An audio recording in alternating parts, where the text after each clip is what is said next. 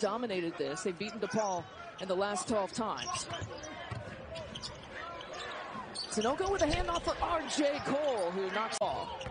Here's David Jones. We talked about his importance, how he needs to be relied heavily on for scoring purposes without Freeman Liberty again here tonight.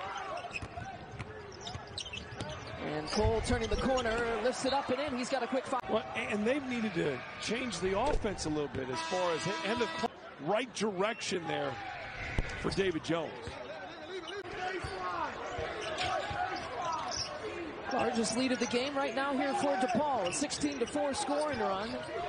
Seven minutes and counting for a team that comes in with a 10 and 9 overall record. Just one win in the Big East here so far. Cole with the turnaround.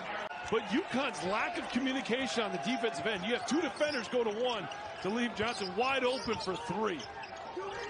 16 three-point makes with a couple of them coming tonight. Seven and a half left to play before the half. It's a 10-point edge. Largest lead of the game now for DePaul.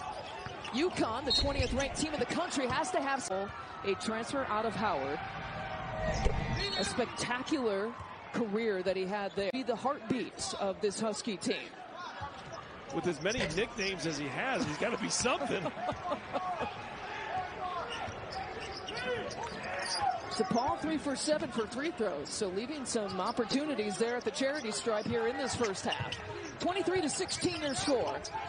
Backdoor look there for Cole, an easy lefty. J. Cole, boy, isn't he shouldering everything right now, offensively, defensively here for UConn. Keeping the Huskies in this one here in the first half. 23 to 19 advantage here for the Blue Demons. Here is Cole. Hesitation move, spin move, and whoa, finish to an absolute blade, which would be then eventually winning percentage, which would decide a Big East champion this year. Uh, and you talk about how big that game is tomorrow between Providence and Marquette, just based on percentages. You see Jackson get on the glass. This second half, that's what they've done, and you can see the energy. Get down by six, you guard, you make sure these actions, they don't get any quick curls going to the basket. Make it a, a difficult shot. Make them shoot over you. And then you got to get the, the defensive board if you're DePaul. Give yourself a chance here down the stretch. Dan Hurley instructing his crew and RJ Cole, take your time. No sense to rush. They go deep into the shot clock here. Three on the shot clock. Lays it up with the left. We're able to rebound the basketball on the offensive end, score in the paint, and that's the, that's a sign of a good team finding different. He, by the way, hit the only two three-point